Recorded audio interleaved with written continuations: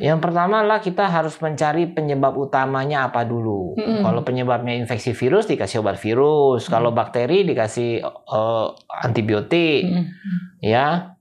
Kemudian kalau memang itu penyebabnya ada faktor eh, bahan polutan atau iritan tadi ya harus di edukasi orang tuanya jangan merokok Hmm. gitu. Yang susah itu kalau lingkungannya itu lingkungan tempat tinggalnya berpolusi tinggi itu agak sulit kalau suruh pindah rumah biayanya besar. Itu dia, Dok. Itu yang paling sulit.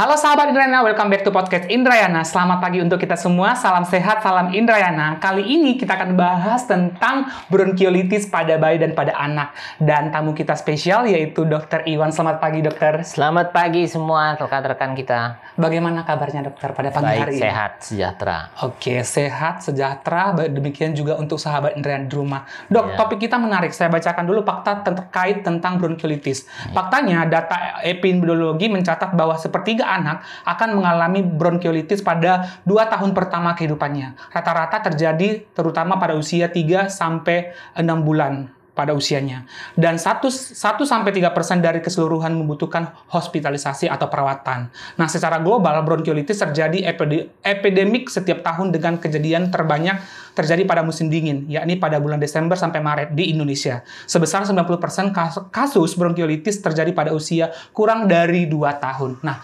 kalau ditanya secara medis, Dok, bronkiolitis ini apa sih, Dok? Oke, bronkiolitis itu adalah peradangan atau inflamasi Mm, atau pembengkakan pada pipa saluran napas terkecil. mm, Ya, jadi pipa saluran napas itu dimulai dari eh, hidung, kemudian turun ke trakea, bronkus utama, kemudian eh, masuk ke bronkus yang cabang-cabang sampai terkecil-kecilnya ada bronchiolus, kemudian ada alveolus Mm-mm. gitu. Jadi cabang terkecil dari bronkus itu bronchiolus. Oke. Nanti habis itu baru masuk alveolus. Alveolus itu di mana terjadi pertukaran udara bersih dan kotor. Oke, gitu. dokter. Nah, gejala-gejalanya yang sering dialami pada anak atau bayi penderita bronkiolitis ini apa biasanya, dokter? Sebetulnya hampir semua eh, infeksi atau peradangan saluran nafas itu gejalanya sama. Ada batuk, ada demam, kemudian sesak napas, banyak lendir. Rata-rata sama semua. Rata-rata sama ya, dokter Iya. ya, yang dialami seorang anak atau bayi. Nah, penyebab bronkiolitis ini apa sih sebenarnya, dokter? Penyebab utamanya virus. Virus ya, dokter. Yang kedua bakteri. Hmm. Yang ketiga itu paling sering adalah bahan polutan atau iritan. Oke. Jadi, Misalnya apa nih yang paling sering di, di rumah tangga? Asap rokok paling sering. Oke. Makanya kan kenapa tadi dibilang umur 3 bulan. Nah, mungkin orang tuanya perokok, ya kan? Hmm. Jadi Itu faktor risiko tinggi bagi orang tua yang perokok. Iya. Disclaimer nih untuk orang tua yang merokok jangan merokok dekat anak ya, dokter ya. Iya. Karena akan meningkatkan risiko orang, orang anak terkena infeksi pernapasan ya, Iya. dokter ya. benar. Oke, kondisi yang bisa meningkatkan resiko seorang anak terkena bronkiolitis ya terjadi seperti yang tadi dokter jelaskan ya. Iya. Kira-kira apa lagi dok selain merokok dok? Banyak misalnya eh, bahan polutan atau iritan yang lain ya di luar asap rokok. Hmm, Misalnya lingkungan rumahnya itu dekat pabrik yang mengeluarkan polusi tinggi, misalnya pabrik yang berhubungan dengan eh, cerob yang ada cerobong asapnya lah gitu ya atau debu. Mhm. Kemudian juga eh, bisa juga orang tua eh, orang tua yang mempunyai eh, riwayat penyakit alergi. Oke. Ya alergi juga eh, begitu dia terkena anaknya dengan bahan polutan atau iritan lagi itu langsung timbul peradangan pada saluran napas. Oke, begitu ya dokter ya. Berarti Iya. memang faktor resiko penyebab seorang untuk terkena bronkiolitis ini, terutama pada bayi dan anak ini, Iya. berbagai faktor bisa menyebabkan ya dokter ya. Iya. Eh, yang berikutnya adalah bagaimana kita mendiagnosis bronkiolitis ini pada seorang anak atau bayi. Apa patokannya dokter? Pertama adalah pemeriksaan fisik ya setelah tadi keluhannya kan ada demam, ada batuk, ada sesak. Hmm. Terus pemeriksaan fisik kita harus dengarkan biasanya tuh eh, suara napasnya kasar. Oke. Ya. Setelah itu ya kita lakukan eh, ronsen atau X-ray Hmm. eh, dada. Oke. Gitu. Kemudian bisa dilanjutkan dengan pemeriksaan darah. Begitu ya dokter ya. Iya. Oke. Berarti memang oh, urutannya adalah konsultasi untuk pemeriksaan fisik, baru Uh-huh. ada pemotoan untuk dada pada dada anak atau bayi, dan juga adalah tes darah kalau tidak salah Iya, dokter ya. iya. Baru dapat disimpulkan bahwa anak tersebut menderita bronkiolitis. Nah, berikutnya adalah komplikasi nih dokter. Nah, sebelum kita ke pengobatan, komplikasi jika dibiarkan kondisi-kondisi seperti gejala yang timbul tanpa berobat, biasanya ini bisa mengarah ke mana dokter?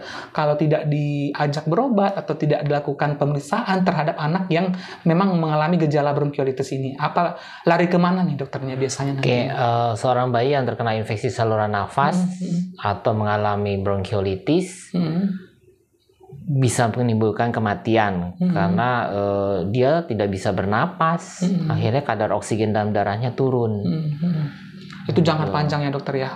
Eh, enggak, segera bisa terjadi. Oke. Kalau komplikasi jangka panjang, kalau yang punya riwayat alergi, mungkin anaknya nanti suatu hari jadi asma. Oke, jadi bisa uh, menjadi asma ya dokter ya? Iya. Karena memang ke menyerang sistem pernapasan ya dok ya? Iya, Yang memang sangat vital ya dok ya? iya. Orang uh, terganggu sistem pernapasan, yang larinya adalah uh, kadar oksigen dalam tubuh berkurang seperti itu ya dokter ya? Iya. Kalau tidak salah.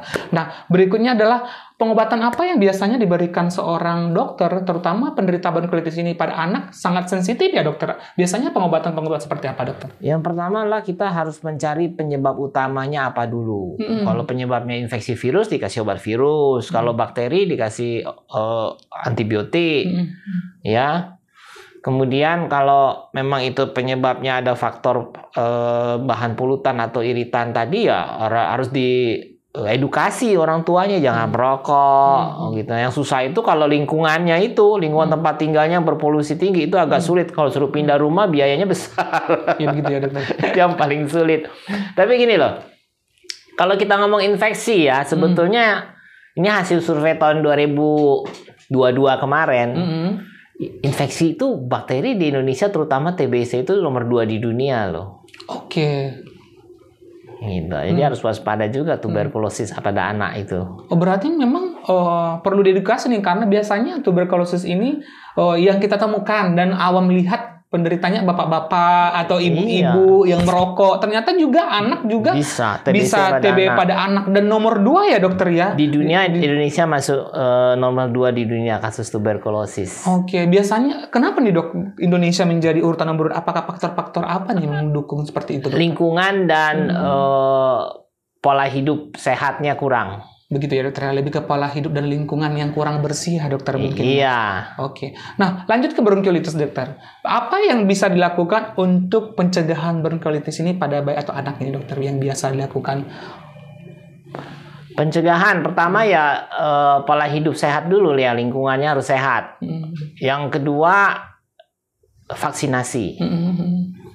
Yang ketiga itu eh, yang ketiga mungkin berhubungan juga dengan masuk pola hidup juga sehat ya sama Hmm.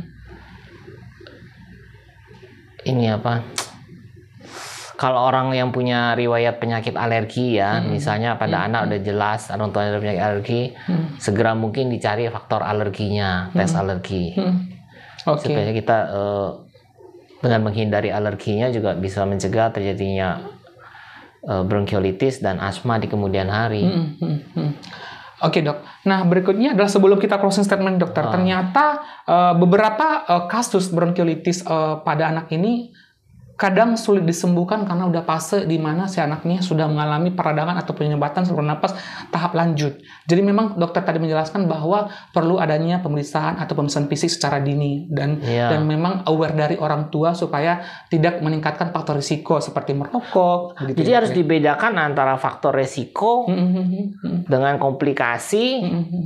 Dengan penyebab nih ya kadang orang awam suka campur aduk nih Hmm, Oke, kesimpulannya dokter, mungkin kesimpulan bronkiolitis ini sehingga dokter, oh, teman-teman sahabat di rumah lebih aware dan lebih mengerti. Sebenarnya bronkiolitis ini harus diapain? Silahkan dokter, closing statement. Dokter. closing statement Mm-mm. pertama paling paling penting itu udah balik lagi deh pola hidup sehat tuh udah paling penting dulu pola hidup sehat nanti kalau mau dijabarkan lebih lanjut seperti pada waktu penanganan covid nih karena sama-sama infeksi saluran pernapasan yang kedua eh segera mungkin Hmm. di- dibawa ke dokter atau fasilitas kesehatan terdekat bila ditemui gejala demam, batuk, sesak. Mm. Untuk mendeteksi dan juga memberikan Iya. pertolongan pertama begitu ya Iya. dokter. Yang Jangan berikutnya ditunda. mungkin dokter setelah konsultasi apa yang bi- biasanya dokter sarankan? Yang setelah dibawa ke paskes apa yang biasanya dokter sarankan setelah pengobatan begitu dok?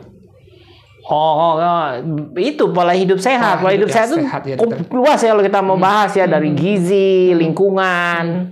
Oke, intinya adalah memang bagaimana menjaga pola hidup yang sehat ini mencegah Iya. penyakit ya dokter ya untuk Iya. mengurangi faktor risiko. Iya. Terima kasih dokter Iwan. Mungkin ada yang mau Iya. disampaikan untuk sahabat Indriana lagi dok? Eh, saya kira cukup ya Hmm. begitu. Oh Inti- ya, ini ada satu juga ya eh, sering terjadi juga nih Hmm. bayi-bayi prematur dengan ibu HIV. Ini bagaimana dok? Bayi prematur dengan ibu HIV ini? Daya tahan tubuhnya masih lemah. Oke.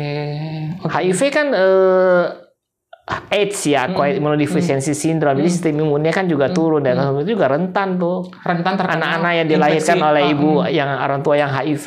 Oke, jadi memang sangat berhubungan dengan daya tahan tubuh Iya. yang menurun itu adalah faktor risiko meningkatkan atau menyebabkan Iya. oh, seorang terkena tadi infeksi pernapasan ya dokter. Iya. Oke. Terima kasih dokter Iwan atas hari ini. Semoga Iya. sahabat Indrayana teredukasi tentang bronkiolitis terutama pada anak dan juga pada bayi. Semoga orang tua semakin aware terhadap anaknya, menjaga lingkungan dan menjaga pola hidup kesehatan, baik itu gizi, kebiasaan tidur, kebiasaan merokok, itu semakin dihilangkan dan ditingkatkan hal-hal baiknya.